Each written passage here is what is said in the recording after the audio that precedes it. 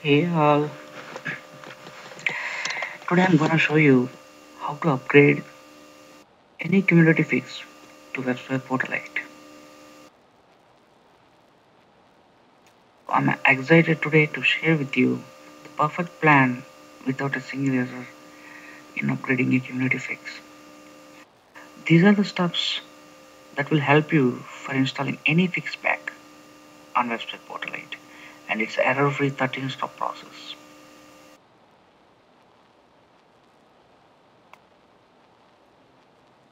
So step 1 keep the portal file system and your database system a backup copy copy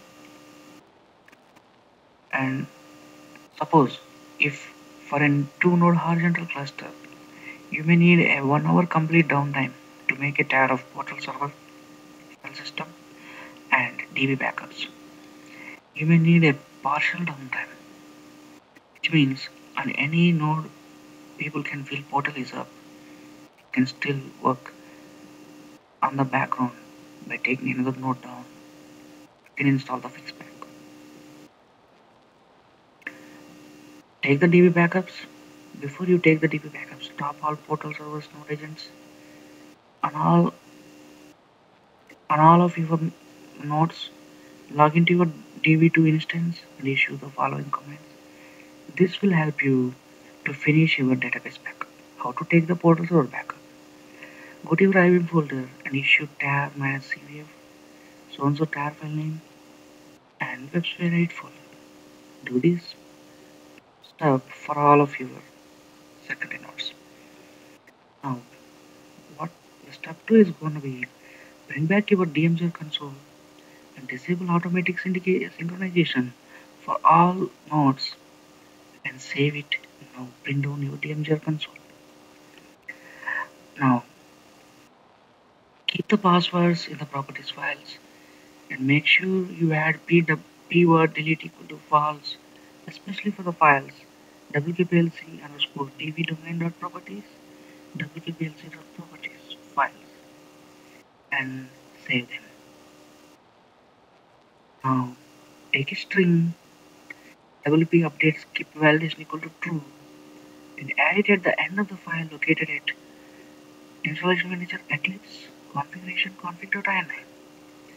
This will help you to skip entering password. So now uninstall if any interim fixes if you installed upon the current fix pack.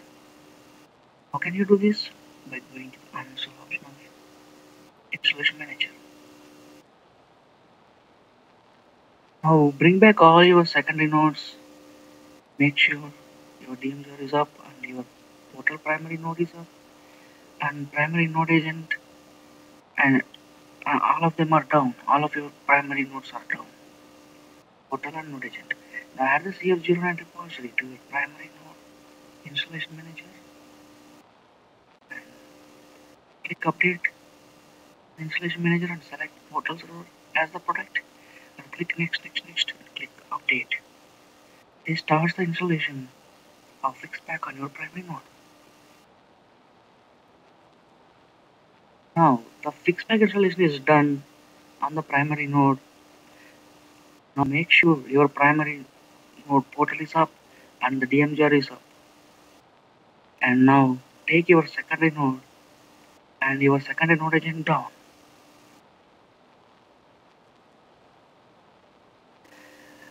add the CF09 repository to your secondary node IIM and click update button on IIM and select product as portal and click next next and click update. This will finishes the installation on your node 2. Now run the following command to update the fix to your WP profile. profile. So the task is go to your profile root config engine, invoke config engine.sh and config wp ptfcf. Repeat this for all of your secondary nodes.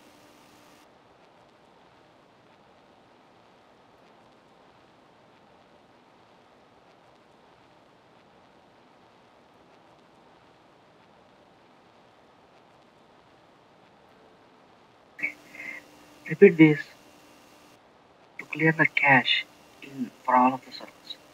Go to your profile root, bin folder, osgi config init.sh. Execute this, repeat this for all of your secondary nodes and your primary node. Then we are almost done. So what is the last?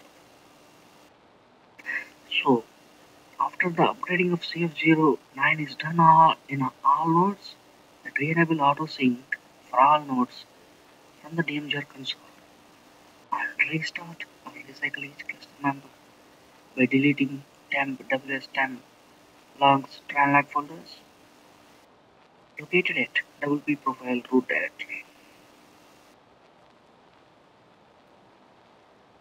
Thank you guys, I'm so excited. Now Your WebSphere Portal 8 expect is done without a single error now. Thank you.